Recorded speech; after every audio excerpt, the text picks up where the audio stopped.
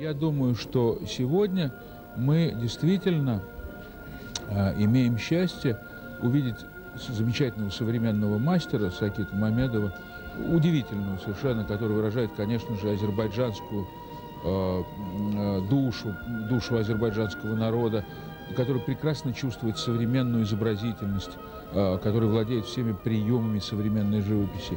И вечером, буквально через несколько минут, откроется концерт, посвященный 90-летию э, Ниязи и 80-летию э, замечательного маэстро э, Фикрета Амирова. И я думаю, что это соединение музыки и живописи, оно вот сегодня в один вечер даст представление об Азербайджане, может быть, более спрессованное, чем из, извините, я это скажу, чем из ряда информационных сообщений о том, что происходит в вашей стране.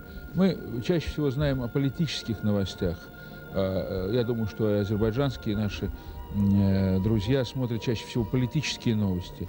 А вот такой э, эмоциональный выдох, что ли, эмоциональный всплеск азербайджанской культуры, который сегодня, вот в один день происходит в нашей столице, в Москве, расскажет об Азербайджане, поверьте, больше и больше хорошего, чем многие информационные сообщения.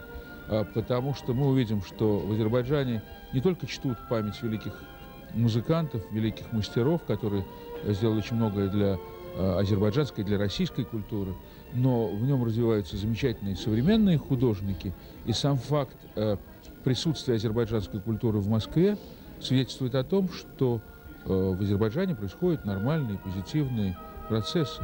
Я думаю, что это очень важно.